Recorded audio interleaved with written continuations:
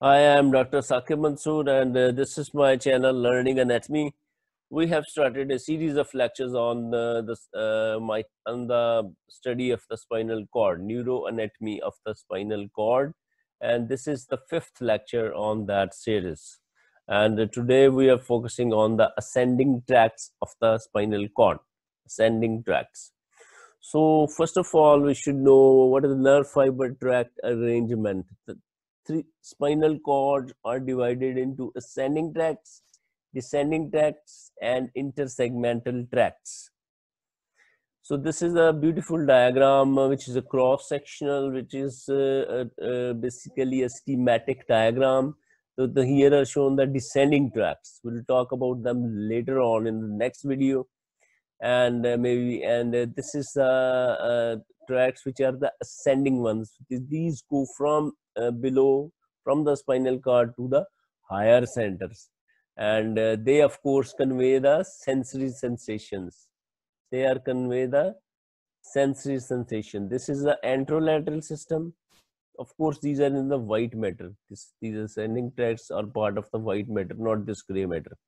We have talked about the gray matter already and this is the dorsal column medial lemniscus system, which is the fasciculus gracilis and fasciculus cuneatus.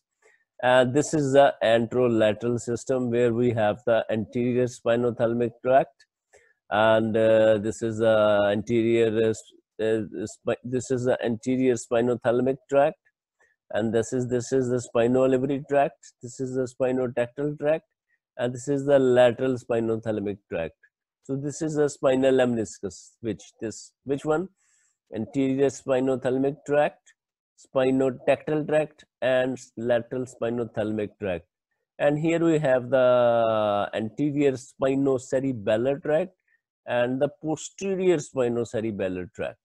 These, this is the anterolateral system, and this is the dorsal column medial lemniscus system we'll uh, study uh, each and uh, every of these one by one. So about the ascending tracts, a few nerve fibers ascend from the spinal cord to the higher centers and subserve to connect the spinal cord with the brain. So these are the sensory modalities which come from the nerve receptors via the dorsal root ganglion. I will show you these in the uh, done in the uh, three uh, third order neurons, first order, second order, and the third order. These bundles of the ascending fibers are termed as the ascending tracts, right? These, so, uh, I repeat, a few nerve fibers ascend from the spinal cord to the higher centers and subserve to connect the spinal cord with the brain. These are the ascending tracts. So the tract, a tract is the bundle of the fibers. Here you could see these are the neurons at the three levels, ascending tracts. These are the first order neurons, this is the second order neuron, and this is the third order neuron. So where does the first order neuron lies? The first order neuron lies in the dorsal root ganglion. It comes from a peripheral nerve ending receptor.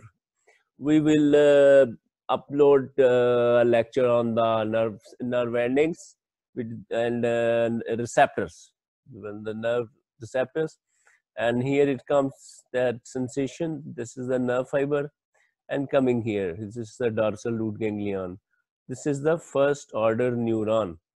And this is talking about the sensory system the ascending pathways. And from here this will be going here. This is, is neuron number two in the gray matter of spinal cord brain stem. This crosses the midline. It could be the spinal cord or the brain stem. It crosses the midline, goes to the opposite side, and ascends upwards, going to the thalamus. Where is in the thalamus lies the third order neuron. And from this thalamus, the third order neurons going into the sensory cortex, cerebral cortex part part that part of the uh, cortex which is sensory. So again, quickly, first order neuron in the dorsal root ganglion, second order crosses in the spinal cord or brainstem and ascends into the thalamus where the third order neurons goes into the this cerebral cortex. So this is the main arrangement of the three uh, neurons.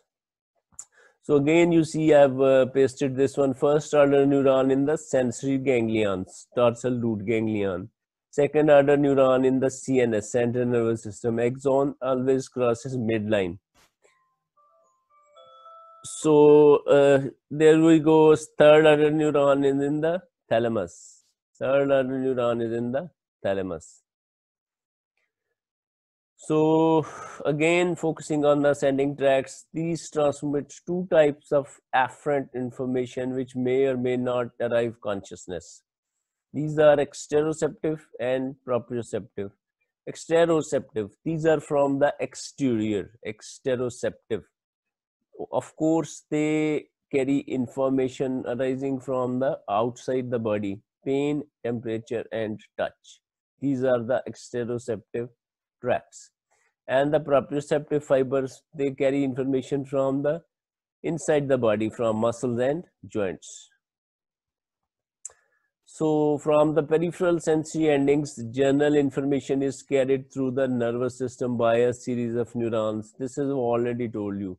This is the dorsal root ganglion right? This is the first order, first order neuron and this carries the information from the uh, nerve receptor to the uh, this uh, second order neuron in the that crosses to the opposite side in the spinal cord or the brain stem. So I will again highlight the three order neurons, first order, second order, and third order neurons. So this is the first order neuron. It has a full cell body in the dorsal root ganglion of the spinal nerve, right? So the first order neuron has the cell body in the dorsal root ganglion of the spinal nerve. A peripheral process serves to unite with the sensory receptor ending, right? You see sensory receptor ending. While a central process enters the spinal cord through the dorsal root ganglion to synapse with the second order neuron. So here this is fiber coming from the uh, you know um, sensory receptor ending sensory receptor ending this process coming from there and this is the the second one coming that that goes attaches to the uh, dorsal root to synapse on the second order neuron which goes to the thalamus so the second order neuron gives origin to an axon that decussates. It all decussates means crosses to the opposite sides. Decussation means crossing to the opposite side and rises to a higher level of the CNS synapsing there with the third order neuron. So third order neuron, this lies in the thalamus mostly, mostly it lies in the thalamus. And from this neuron, a projection fiber originates th that reaches to a sensory region of the cerebral cortex, right? This is a third order neuron you can see in the picture. This is the thalamus giving rise to the third order neuron that reaches the sensory cortex. And that these fibers are the projection fibers. When we will study the white matter of the cerebrum, we will study what are the projection fibers. So many neurons in the ascending pathways gives rise to the branches and provide a main input to the reticular formation. So reticular formation gets the many neuron input to that, which serves to activate the cerebral cortex and serves to maintain the wakefulness, which is the consciousness. So branches connect to motor neurons also, which participate in the reflex motor activity. So this is very important that uh, some of the branches of this sensory neuron, these are the sensory neurons, the sending tracts, carrying information from below uh, part of the body, nerves, muscles, skin. And uh, these are also connected to the motor neurons and they participate in the reflex muscular activity, reflex muscular activity. So these, this is a list I will not dis discuss in this lecture of the today you see these are the pathways which are shown in the picture. Lateral spinothalamic tract spinal lemniscus right? And anterior spinothalamic tract spinal lemniscus these two are the spinal, spinal lemniscus and then this is the dorsal column medial lemniscus system fasciculus gracilis and fasciculus cuneatus This is the medial lemniscus.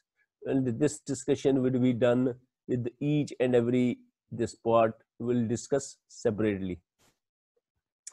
The functions I can summarize for you for here. Lateral spinothalamic tract subserves uh, to convey painful and temperature sensations. Pain and temperature travels via lateral spinothalamic tract and light or crude touch and pressure travels through anterior spinothalamic tract and discriminative touch goes through posterior white columns, dorsal column, posterior white column, dorsal column, medial lemniscus system, discriminative touch. The posterior white column, dorsal column, medial lemniscus system also convey information from muscles and joints pertaining to movement and position of different parts of the body. Vibratory sensations too are conveyed via the posterior white columns, right? So the vibrations and uh, the information from the muscles and joints, right? Proprioception and uh, discriminative touch. These are the sensation carried through the posterior white columns. This is uh, again a, beautiful uh, table. This is showing the path and their functions. Dorsal column, medial lemniscus system, discriminative touch, conscious proprioception, vibration, and pressure. And uh, this is the anterolateral system, the spinothalamic tract, right? And uh, which is the basically spinal lemniscus. Pain and temperature goes through the lateral spinothalamic tract. And overview, what is that? The overview is that the three neuron systems, first degree, second degree and third degree. First degree neuron, the cell body in the dorsal root ganglion. This DRG is the dorsal root ganglion. And second order neuron decussates in the gray matter of the spinal cord. And third order neuron thalamus. It, it, the, that cell body originates in the thalamus from VPL nucleus, ventral posterolateral nucleus, and it goes to the sensory cortex unconscious information from skin, subcutaneous tissue, muscles and joints arrive the cerebellum through the anterior and posterior spinocerebellar tracts and cuneo-cerebellar tract. So which are the tracts? Carrying information from skin, subcutaneous tissue and muscles and joints. Cerebellum, they reach the cerebellum through the anterior and posterior spinocerebellar tracts and cuneo-cerebellar tracts of course, they contain the word cerebellar. So pain, temperature and tactile information are conveyed to superior colliculus of the midbrain via the spinotectal tract for the purpose of spino-visual reflexes, right? So there is superior colliculus. We have already studied the midbrain in detail. The midbrain anatomy is discussed with you in detail. Spino-reticular tract they serve as pathway from the muscles, joints, and skin to the reticular formation, spino-reticular. Then is the spino-olivary tract serves as an indirect pathway for additional afferent information to convey to the cerebellum. This is written over here, right? That you can see, but I will still uh, try that I also uh, give this information of uh, the uh, sensations carried to, to the cerebellum separately. The muscle spindles, tendon organs, and joint receptors are the receptors. Muscle spindles, tendon organs, and the joint receptors, right? Carries the unconscious muscle joint sense. And first order uh, neuron is the posterior root ganglion. But the second order here is the nucleus dorsalis, right? This is not substantia gelatinosa. This is the nucleus dorsalis and this is anterior and posterior spinocerebellar tract is the pathway anterior and posterior spinocerebellar and destination is the cerebellar cortex not the cerebral. Not the cerebrum. This is the cerebellar cortex not the cortex of the cerebrum. So this is the was the brief lecture and uh, i thank you very much.